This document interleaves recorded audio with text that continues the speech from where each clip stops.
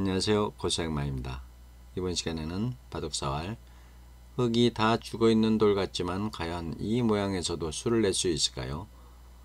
지금 제가 문제라고 이렇게 내니까는 수를 낼 수가 있을 것입니다. 아주 간단하게 하지만 실전에서 이런 모양이 나왔다면 예, 뭐 초급자분들은 거의 죽었다고 생각할 것입니다. 과연 어떤 수가 있을까요? 자충이 다 차 있어 가지고 못 뻗는 줄은 안, 이건 뭐 예, 이거는 말이 안 되고요. 이것도 예, 안 됩니다. 그러면은 오직 오직 한 수 안도본데 여기밖에 없죠. 자 그러면은 수를 한번 내보겠습니다. 이렇게 젖힙니다.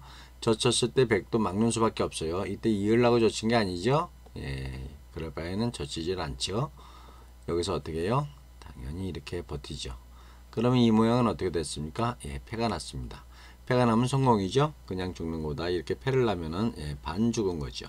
자 이렇게 해서 이런 수, 이런 수가 있다는 걸 아, 알아두시면은 되겠습니다. 이렇게 버티는 수. 그래서 항상 뭐 여기서 죽었다고 생각하지 마시고 어떤 어 문제 문제를 푼다 생각하시면은 여러분들은 금방 풀, 풀지만 아, 이게 실전에서 나오면은 생각을 안 합니다. 그냥 죽었다고 포기를 해요. 그래서 뭐 어떻게 팩감으로 쓸 것입니다. 아 그러면 안 되겠죠. 이런 수가 있다는 것을 꼭 알아두시기 바라겠습니다. 그러면은 다음 시간까지 안녕히 계십시오. 감사합니다.